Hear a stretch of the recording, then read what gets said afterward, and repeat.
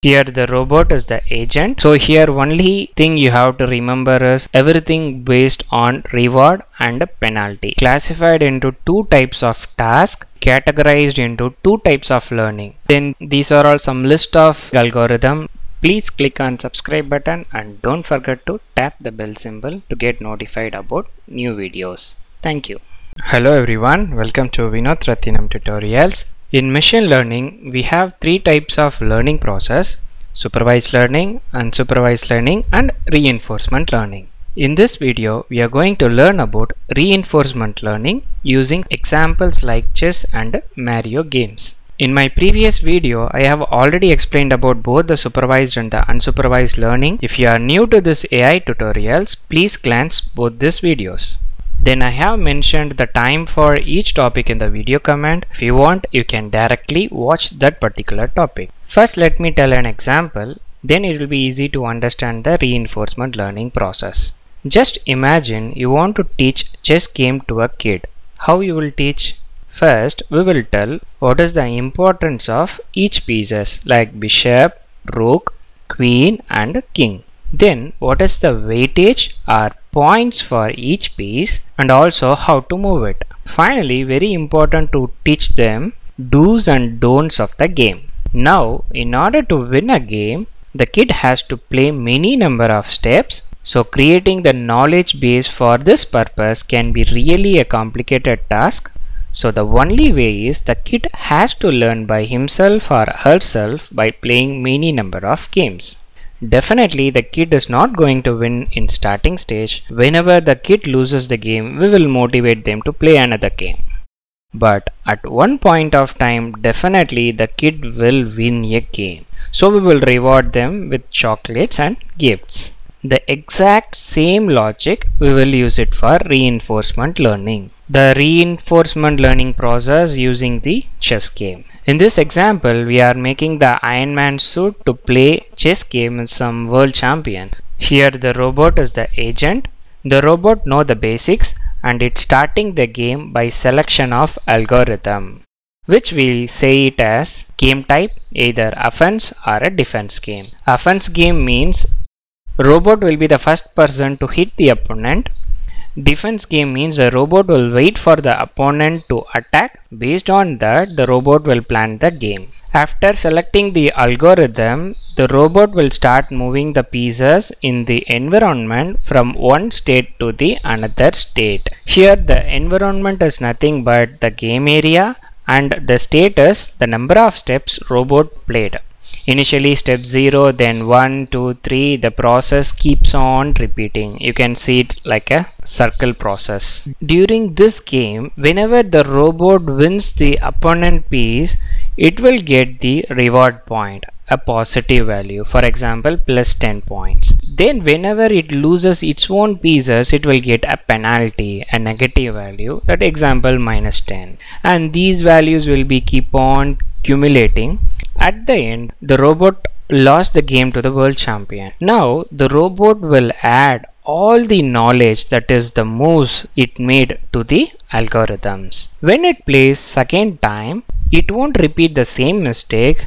Like this, it will play many number of games and makes the algorithm to think like a human and surely at one point of time the robot will defeat the world champion. This is called reinforcement learning process. One interesting fact about artificial intelligence, even though artificial intelligence was invented in 1950s, almost some 65 years ago, but the whole world believed on artificial intelligence in 1996 when the chess playing computer called a Deep Blue, which was developed by IBM, won the match against the world champion Garry Kasparov. And the game statistics like it played 6 games, but Deep Blue won 1 game against him and Kasparov won 3 games and rest 2 match became a draw.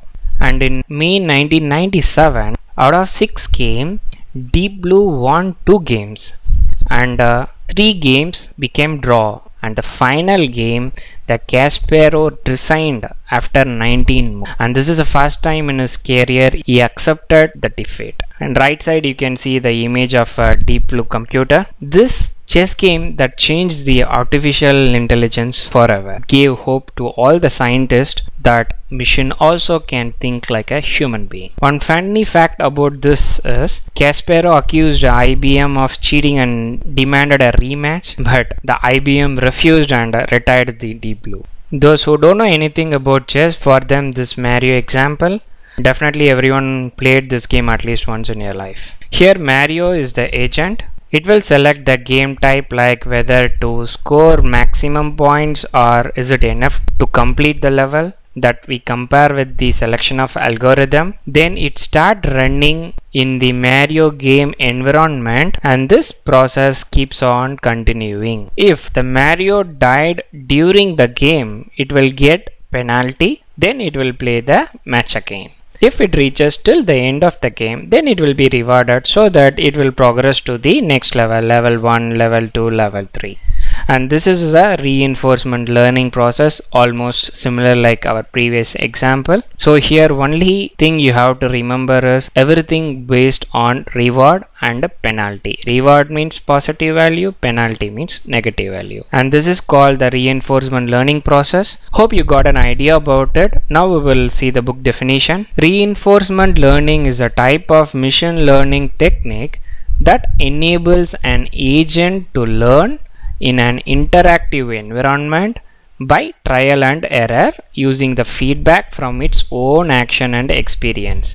Now you can understand the importance or the meaning of all the bold letters like agent means robot, interactive environment where we play using the trial and error method. It will be keep on improving from the feedback with its action and experience. The reinforcement learning can be classified into two types of task one is episodic task another one is continuous task. In the episodic task it is having the starting point and also an ending point. Ending point we can say it as a terminal state. Example the once again the mario game where uh, episode begin at the launch and uh, when you are killed or when you reach at the end of the level that is an ending state. And in continuous task this task will be continue forever. It means there is no terminal state. The agent has to learn how to choose the best action and simultaneously interacts with the environment. The best example is automated stock trading, share markets, where the agent keeps running until we decide to stop him. The reinforcement learning can be categorized into two types of learning. One is Monte Carlo approach, another one is temporal difference learning. In the Monte Carlo approach, here it will collect the rewards at end of the episode then calculate the maximum expected future reward. And uh, when we start a new game with the added knowledge the agent makes a better decision with each iteration. It means in each iteration this knowledge going to add again and again. In the temporal learning difference it will update its estimation in every step. It won't wait till the game or the episode gets complete. In every step like in case of chess step 1 step 2 step 3 for each step the estimation will happen another important terminology that is exploration or exploitation trade-off. Apart from giving importance to the agent and the algorithm we have to give more importance to the environment. We must analyze everything about the environment so that this will help us to maximize the rewards and we can avoid the penalty then these are all some list of important reinforcement learning algorithm like Monte Carlo then Sarsa DeepQ network then DDPG based on your requirement you have to choose the proper algorithms that's the end of today's session. In case of any clarification, please mail me or you can directly ping me to my LinkedIn ID. Thanks for watching. Happy learning.